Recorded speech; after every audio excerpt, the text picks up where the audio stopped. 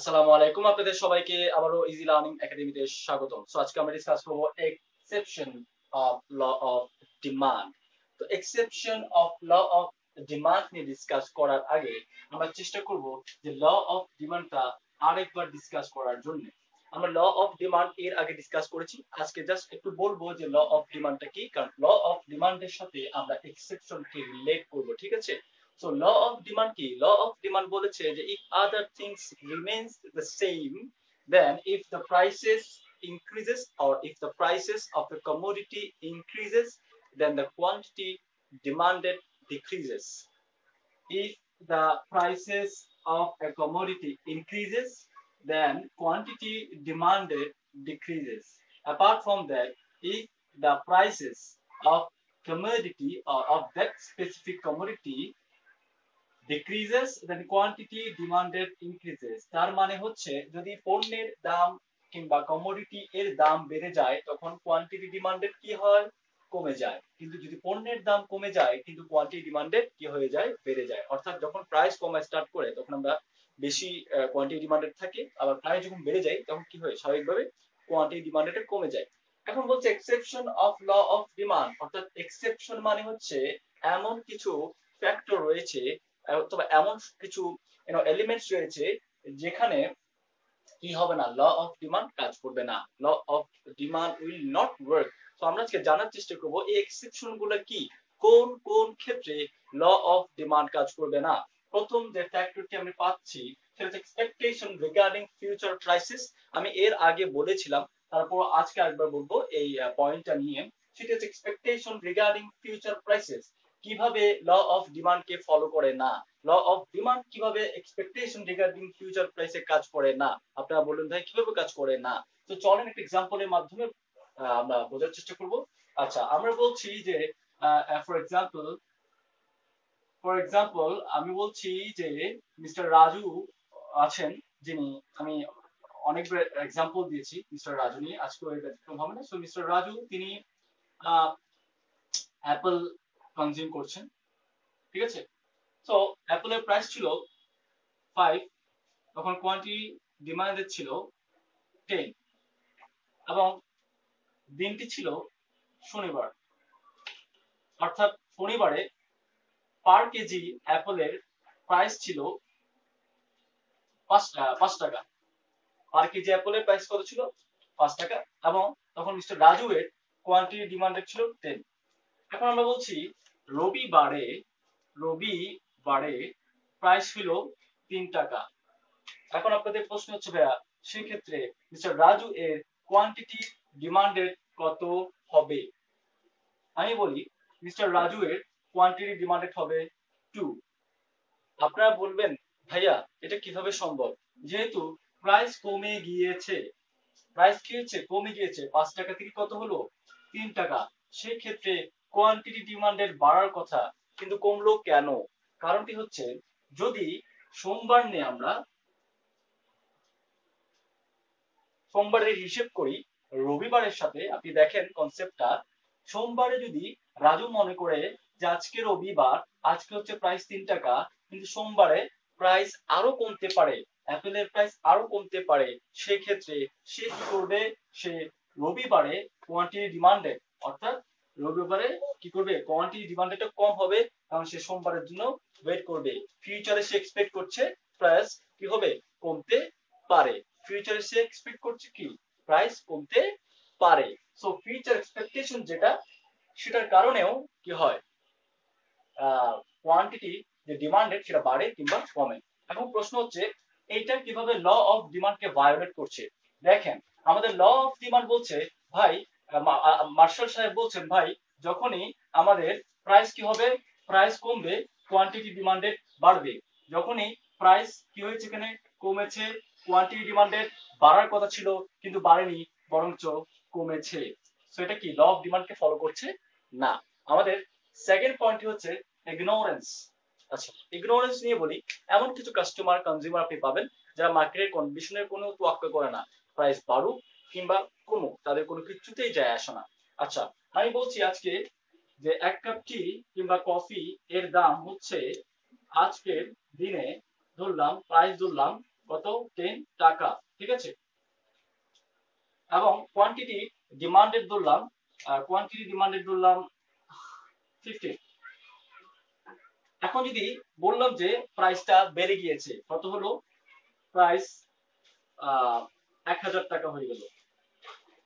মানে এক কাপ চা কিংবা এক কাপ কফি যদি আপনি পান করতে চান, তাহলে আপনাকে এক হাজার টাকা লাগবে, দাম বেড়ে গিয়েছে। ঠিক আছে? অনেক গুণ বেড়ে গিয়েছে। সেক্ষেত্রে আমরা কিংবা আপনারা যারা আছি, তারা হয়তো বা চা কিংবা কফি পান করবে না। কিন্তু আমি যদি এখন যদি বলি, মিস্টার বিল গেটস এর কাছে এটা কি কোনো ব্যাপার? ব্যাপার না। কারণ তার এত বেশি ইনকাম এবং তার এত বেশি পারচেজিং পাওয়ার তার জন্য এক হাজার কেন? দশ হাজার, বিশ হাজার কিংবা এক লাখ টাকাও যদি হয় এক কাপ চায়ের দাম, সেক্ষেত্রে তার কোয়ান্টিটি ডিমান্ডেড কমবে না। ঠিক আছে? সো এইসব কনজিউমারের ক্ষেত্রে কি হয়? এইসব কনজিউমারের ক্ষেত্রে প্রাইস যদি বাড়ে কোয়ান্টিটি ডিমান্ডেড কি হয়? বাড়বে। কমবে না। ঠিক আছে? তো আমরা কি জানি? প্রাইস বাড়লে কোয়ান্টিটি ডিমান্ডেড কমে। প্রাইস বাড়লে কোয়ান্টিটি ডিমান্ডেড কমে। কিন্তু এখানে কি হইল? প্রাইস বাড়লো, এক হাজার টাকা হইল, কিন্তু কোয়ান্টিটি ডিমান্ডেড বাড়লো। কেন বাড়লো? কারণ যে কনজিউমার অর্থাৎ মিস্টার বিল সাহেবের মতো বিল গেটস এর মতো যারা কনজিউমার আছে, তারা প্রাইসকে কিংবা মার্কেট কন্ডিশনকে ইগনোর করেছে। তাদের জন্য প্রাইস কোনো ফ্যাক্টর না। আচ্ছা তিন নাম্বার কি? তিন নাম্বার হচ্ছে আমাদের হ্যাভি চুয়েটেড গুডস হ্যাভি চুয়েটেড গুডস আচ্ছা হ্যাভি চুয়েটেড গুডস মানে যেসব গুডসগুলা আমরা রেগুলার ইউজ করি, ঠিক আছে? যেমন ধরেন, আমাদের এখানে কিছুদিন আগে কিন্তু আমাদের বাজেটে বাংলাদেশে সিগারেটের উপর সিগারেটের দামটা বেড়ে গিয়েছিল এখন প্রশ্ন হচ্ছে ট্যাক্সের কারণে সিগারেটের দামটা বেড়ে গিয়েছে এবং বাড়তে বাড়তে প্রায় অনেক বেড়েছে এখন। সো এই যে সিগারেটের দামটা বাড়লো সিগারেটের দামটা বাড়ার কারণে কোয়ান্টিটি ডিমান্ডেড কমার কথা ছিল, কিন্তু আসলে কি কমেছে? আসলে কমেনি। কারণ যারা যেসব মানুষ কিংবা যারা সিগারেট মানে খেতে অভ্যস্ত, তাদের জন্য প্রাইসটা কোনো ফ্যাক্টর না। আচ্ছা তো তাদের ক্ষেত্রে কি হবে? প্রাইস বাড়লেও কি হবে? কোয়ান্টিটি ডিমান্ডেড কি হবে? বাড়বে। প্রাইস বাড়লে কোয়ান্টিটি ডিমান্ডেড বাড়বে। ঠিক আছে? আচ্ছা। এবার যে ব্যাপারটা বলব সেটা হচ্ছে যে ফ্যাক্টরটা নিয়ে বলব হচ্ছে নেসেসিটিস অফ লাইফ চার নাম্বার এক্সেপশন যেটা নেসেসিটিস অফ লাইফ আচ্ছা এখন নেসেসিটিস অফ লাইফ মানে হচ্ছে, আমরা সবাই এখন টেকনোলজি দিয়ে কিন্তু আসলে টেকনোলজির কাছে একদম, কি বলব একদম মানে টেকনোলজি ছাড়া বাঁচার কোনো উপায় নেই আমাদের, ঠিক আছে? তো ঘুম থেকে উঠার পর থেকে আমরা ফেসবুক হোয়াটসঅ্যাপ সবকিছু ইউজ করে স্টার্ট করি। এবং সেক্ষেত্রে যদি আমি বলি যে আমাদের সবার কাছে মোটামুটি ওয়াইফাই এর কানেক্টিভিটি আছে, তো ওয়াইফাই এর কানেক্টিভিটি থাকে, তো ওয়াইফাই কানেক্টিভিটি ধরেন আজকের দিনে প্রাইস হচ্ছে এক হাজার টাকা। আমি বললাম যে সিক্স এমবিপিএস ঠিক আছে? সিক্স এমবিপিএস হচ্ছে এক হাজার টাকা। এবং সেক্ষেত্রে কোয়ান্টিটি ডিমান্ডেড ছিল, আমি ধরলাম অ্যাজামশন করছি পাঁচশো। এখন এই এক হাজার থেকে যদি প্রাইস কি হয়, দুই হাজার হয়ও কোয়ান্টিটি ডিমান্ডেড কি হবে না, কমবে না কমবে না। কেন কমবে না? কারণ ভাই, আমরা মানে টেকনোলজি ছাড়া বাঁচতে পারব না আসলে কথা। ফেসবুক হোয়াটসঅ্যাপ এগুলো ছাড়া বাঁচতে পারব না, আর এগুলো তো ওয়াইফাই ছাড়া চালানো সম্ভব না, ঠিক আছে? ওয়াইফাই কানেক্টিভিটি বাড়লেও কোয়ান্টিটি যে প্রাইস সেটা বাড়লেও কোয়ান্টিটি ডিমান্ড বাড়বে না। যেমন নেসেসিটি অফ লাইফ যেমন ধরেন শেল্টার শেল্টার কিন্তু নেসেসিটিস অফ লাইফের মধ্যে পড়ে। কীভাবে পড়ে? ধরেন আমাদের, আমরা যারা বিল্ডিং মেক করে, সেক্ষেত্রে সিমেন্টের দাম যদি বাড়ে, আপনি কি মনে করেন যে কোয়ান্টিটি ডিমান্ড কমে যাবে সিমেন্টের? কখনো না। কারণ সিমেন্টের আমাদের হচ্ছে নেসেসিটিস আমাদের শেল্টারের সাথে রিলেটেড সিমেন্ট দিয়ে কিন্তু আমরা বাড়িঘর বানাই। তো সিমেন্টের প্রাইস ইনক্রিজ করছে কিন্তু তার কোয়ান্টিটি ডিমান্ডেড কমছে না। তো আমরা কি জানি প্রাইস বাড়লে কোয়ান্টিটি ডিমান্ডেড কমার কথা। কিন্তু এখানে কি হচ্ছে? প্রাইস বাড়ার পরও কোয়ান্টিটি ডিমান্ড কি হচ্ছে না? কমছে না। তার মানে এটা ল অফ ডিমান্ডকে ফলো করছে না।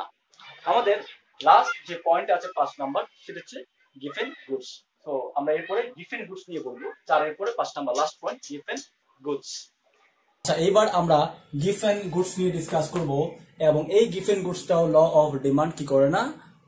ফলো করে না। গিফেন গুডস হচ্ছে সেই সকল গুডস যার যেখানে যে সকল গুডসের প্রাইস বাড়লে কোয়ান্টিটি ডিমান্ডেড বাড়ে এবং প্রাইস কমলে কোয়ান্টিটি ডিমান্ডেড কমে। আর প্রশ্ন হচ্ছে এটাকে গিফেন গুডস কেন বলা হয়? কারণ স্যার রবার্ট গিফেন এর নাম অনুসারে এই গিফেন গুডস এর নামকরণ করা হয়েছে এবং তিনিই বলেন যে গিফেন গুডস এর প্রাইস বাড়লে কোয়ান্টিটি ডিমান্ডেড বাড়ে এবং প্রাইস কমলে কোয়ান্টিটি ডিমান্ডেড কমে। আচ্ছা আমরা কি জানি ল অফ ডিমান্ডের প্রাইস বাড়লে কোয়ান্টিটি ডিমান্ডেড কমে, কিন্তু গিফেন গুডস বলছে প্রাইস বাড়লে কোয়ান্টিটি ডিমান্ডেড বাড়বে তার মানে হচ্ছে ল অফ ডিমান্ডের কি? একদম অপোজিট এখন এই গিফেন গুডসটা কীভাবে ওয়ার্ক করে, সেটা একটু আমাকে দেখানোর চেষ্টা করব এক্সাম্পল দিয়ে। আমরা একজন মিস্টার রনির নাম লিখে রেখেছি। তিনি হুইট এবং ফ্লাওয়ার কনজিউম করেন।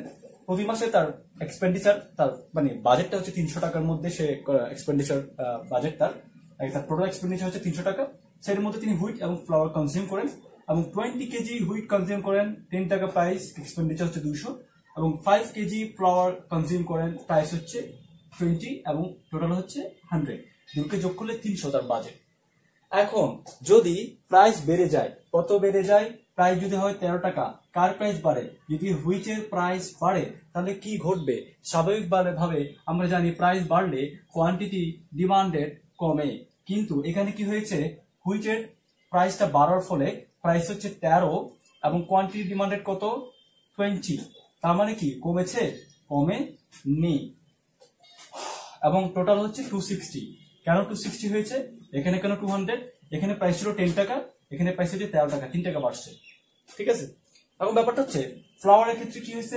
ফ্লাওয়ারের ক্ষেত্রে কোয়ান্টিটি ডিমান্ড হচ্ছে টু ঠিক আছে? কিন্তু ফ্লাওয়ারের কোয়ান্টিটি ডিমান্ড কত ছিল? ফাইভ কিলো ছিল এর আগে। এখন প্রশ্ন হচ্ছে ফ্লাওয়ারের কোয়ান্টিটি ডিমান্ডেড কেন কমলো? কারণ, দেখেন হুইচের প্রাইস বাড়ার ফলে হয়েছে তেরো টাকা, আর ফ্লাওয়ারের প্রাইস হচ্ছে টোয়েন্টি তার মানে তিন টাকা বাড়ার পরও ফ্লাওয়ারের চেয়ে হুইট কি? সস্তা। সস্তার কারণে রনি কিংবা যে কোনো কনজিউমারে কি করবে? সে হুইটটাই কনজিউম করবে বেশি এবং ফ্লাওয়ারের যে কনজাম্পশন সেটা কমিয়ে দিবে। তাহলে ফ্লাওয়ারের কত কনজাম্পশন টু থ্রি কিলো কমে গেছে প্রায়। Twenty cross two forty three hundred এর মধ্যে বাজেটের মধ্যে তার এক্সপেন্ডিচারটা হলো। এখন দেখেন, তো আমরা কি বলছি? প্রাইস বাড়ার ফলে কোয়ান্টিটি ডিমান্ডেড কমার কথা ছিল। কিন্তু প্রাইস দশ থেকে তেরো হয়েছে, কিন্তু কোয়ান্টিটি ডিমান্ডেড কি হয়নি? কমে নেই। তার মানে ল অফ ডিমান্ড ফলো করছে না গিফেন গুডস ঠিক আছে? এবং গিফেন গুডসে সাবস্টিটিউট প্রোডাক্ট হুইট এবং ফ্লাওয়ার হচ্ছে সাবস্টিটিউট প্রোডাক্ট এবং সাবস্টিটিউট প্রোডাক্টের ক্ষেত্রে যে প্রোডাক্টের প্রাইস কম, সেটাকে বলা হয় গিফেন গুডস সরি যে প্রোডাক্টের প্রাইস কম সেটাকে বলা হয় ইনফেরিয়র গুডস ইনফেরিয়র গুডস এবং বাকিটাকে বলা হয় সুপিরিয়র গুডস ফ্লাওয়ার হচ্ছে এখানে কি? সুপিরিয়র গুডস কারণ তার প্রাইস বেশি, ঠিক আছে? তো আশা করি আপনি বুঝতে পেরেছেন আজকের টপিকটা মানে মানে exception of law of demand সামনের দিনে আমরা নতুন নতুন টপিক নিয়ে হাজির হব। আমাদের এই ভিডিওগুলো যদি আপনাদের ভালো লেগে থাকে, তাহলে লাইক দিন কমেন্ট করুন, এবং সাবস্ক্রাইব করতে ভুলবেন না। এছাড়া শেয়ার করতেও ভুলবেন না। Thank you very much